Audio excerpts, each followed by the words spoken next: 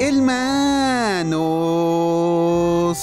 Este video fue el especial de Halloween, pero lo tuve que sacar en su momento porque había una música de Satanás que había puesto y YouTube me penalizó, así que espero que me puedan dejar otra vez su sabrosito. Claro que sí. Esta historia inicia en la corporación Cápsula. Podemos ver a Bulma trabajando. Últimamente ella trabaja mucho en las noches, pues resulta que está realizando un experimento secreto. Y luego de muchos días y horas de experimentación, Bulma acaba de crear un microorganismo nuevo. Ella está sorprendida y a la vez muy feliz, porque por fin acaba de crear una sustancia que le otorgará la juventud eterna. Ella se ríe y luego piensa, por fin ese tonto de Vegeta dejará de decir que parezco una señora y la gente notará lo bonita que soy en verdad. Pero en ese momento el microorganismo comienza a hacer un ruido extraño. Bulma al verlo presiente que algo va mal. Ella se asusta, coge un frasco e intenta encerrar a su creación. Y en eso piensa dos palabras. Ayuda, Vegeta. De pronto ella se cae y siente que dentro de su cuerpo acaba de ocurrir algo extraño. Unas misteriosas manchas comienzan a salir de su propia boca y luego todas ellas se dispersan en su rostro y cuerpo como si tuviesen conciencia. Pasaron unos minutos y el doctor Brief llegó al laboratorio preguntando, ¿has visto a Trunks? Lo estaba esperando y en ese instante el doctor se sorprende de ver a su hija en esas condiciones. Él ve que ella tiene una extraña mancha en su cara e intenta despertarla sacudiéndole los hombros. Como él es un hombre de ciencia, llega a pensar que lo más seguro es que su hija se ha infectado con alguno de sus experimentos y debido a eso, el doctor planea iniciar el protocolo de cuarentena del laboratorio. Sin embargo, en ese momento Bulma, o lo que era Bulma, ataca a su papá. El doctor Brief, que las justas puede respirar, intenta decirle a su hija que se detenga, pero su hija bota una extraña sonrisa y aprieta con toda su fuerza el cuello de su padre. Y de esta forma el doctor Brief pierde la vida. Bulma confundida se queda mirando el cuerpo de su padre y luego no puede evitar reír de una manera siniestra.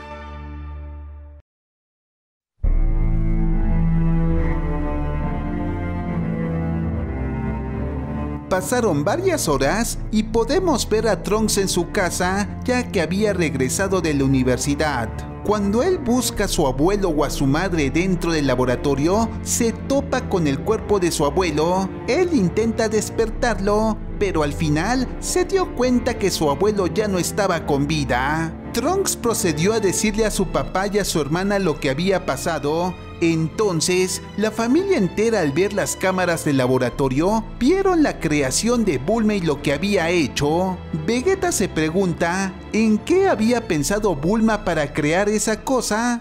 Por lo que su hija menor le responde que su mamá estaba creando una sustancia que la mantuviera joven por mucho tiempo, ya que cada vez que pasaba el tiempo ella se volvía más anciana y como Vegeta no envejecía por culpa de su naturaleza Saiyajin, ella se sentía muy frustrada. Ella intentó utilizar las esferas del dragón, pero intervino Whis y le dijo que usar los deseos de las esferas para eso era algo sumamente irresponsable. Debido a eso, Bulma decidió utilizar su inteligencia para resolver ese problema. Ella no pensaba dejar que el tiempo de alguna forma lo separe de su amado Vegeta.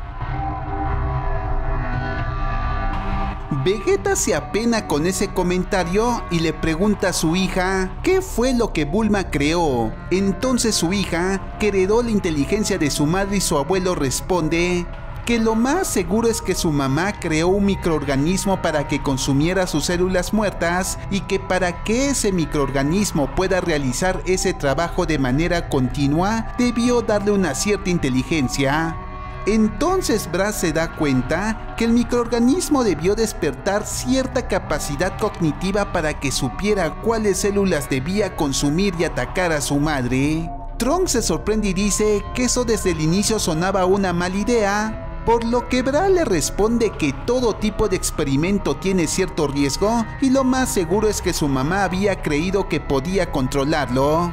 El problema es que el microorganismo por sí solo no puede vivir, necesita consumir células para existir, y como ahora el microorganismo es un ser consciente, buscará al mejor huésped que hay en su hábitat. Bra está tranquila porque piensa que dentro de la Tierra no existe mejor cuerpo huésped que el de los Saiyajin de raza pura, ya que son los más fuertes y nunca envejecen. Y como el Saiyajin más poderoso que conoce su papá, lo más probable es que el microorganismo vendrá tarde o temprano por él.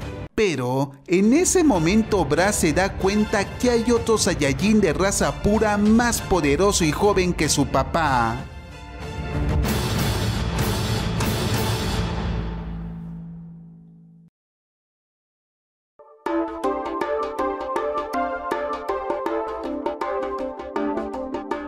Muy cerca de la montaña Paos, Goku estaba trabajando en actividades agrícolas. Él andaba preocupado porque se había olvidado de cosechar papas y creía que Milk se iba a enojar con él. En ese momento, Goku siente que hay alguien detrás de él y al voltear se da cuenta que es Bulma, pero hay algo extraño en ella. Bulma intenta atacar a Goku con sus manos y por reflejo, Goku detiene el golpe de su amiga. Él se da cuenta que ella no es Bulma y le pregunta, ¿quién eres? Responde. Y como la fuerza que estaba aplicando Bulma era tan fuerte, su cuerpo no lo soportó y terminó destrozándose ella misma su muñeca.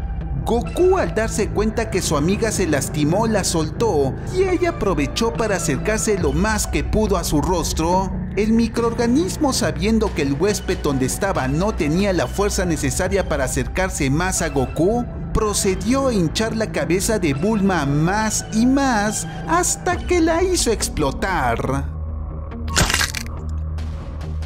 Goku obviamente no se esperaba eso. Él retrocedió y se dio cuenta que una extraña sustancia se estaba esparciendo en su cara. Él no entendía lo que pasaba y de repente él emitió una gran cantidad de energía. Goku ya con esa marca que caracterizaba a los huéspedes del microorganismo comenzó a ver su cuerpo de una manera sorprendida.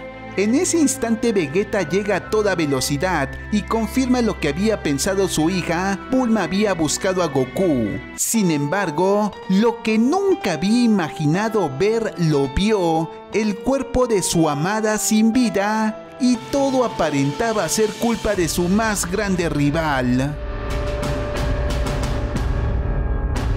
Vegeta con toda la furia en su cuerpo logró obtener la transformación que había querido llegar hace muchos años, el Super Saiyajin 3. Él intentó atacar rápidamente a Goku, pero antes de dar el golpe, se dio cuenta que con esa cantidad de poder podría destruir por completo el cuerpo de Kakaroto, y no era por compasión, pero Vegeta entendía que Kakaroto no era el verdadero culpable de la muerte de Bulma.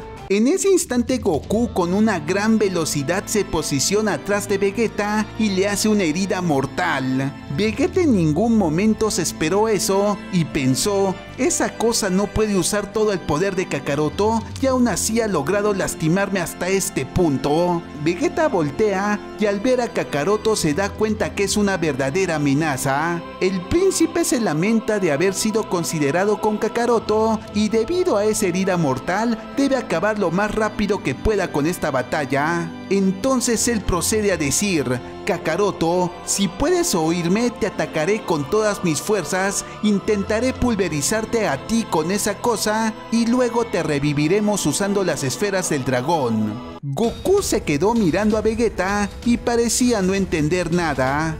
Lo primero que hizo Vegeta es atacar a Goku de distintas formas, el cuerpo de Kakaroto enojado atacó a Vegeta de una forma salvaje como si se tratase de un animal. Vegeta se da cuenta que Kakaroto aumentó su velocidad, entonces observa que el cuerpo de Goku estaba mutando, y tanto fue su asombro que no pudo evitar ser mordido por esa cosa.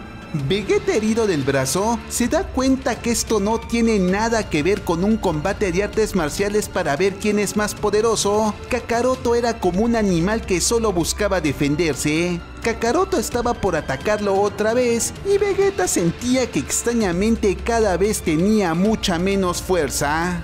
Él recordó que por culpa de esa cosa perdió a Bulma y pensó que era posible que también por culpa de esa cosa podría perder a Bra. Entonces, ya sin fuerza y habiendo perdido su transformación, él tiró al piso a su enemigo cuando él intentó atacarlo, le dio unos cuantos golpes, le dio un cabezazo con todo su poder y con las últimas fuerzas que tenía, decidió explotar su cuerpo tal como una vez lo hizo con Majin Buu para acabar con su enemigo.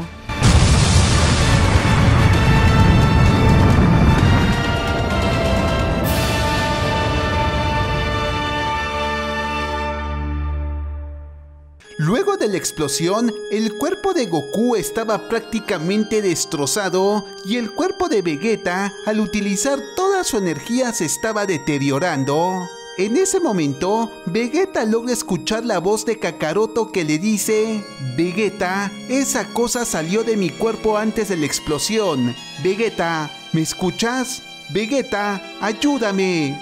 En ese instante Vegeta había muerto y Goku se dio cuenta que esa extraña cosa se alejaba cada vez más en busca de otro huésped. Y cuando pasaba eso, en el planeta de Bills el pez oráculo se despertó y dijo con angustia, a partir de ahora los 12 universos estarán en peligro. Bueno hermanos, espero que les haya gustado este especial. Sinceramente no sé si fue lo suficientemente tenebroso o no. Escriban en los comentarios si quieren que siga con esta historia y quería agradecer a Mario AZ4 por haberme ayudado con los dibujos.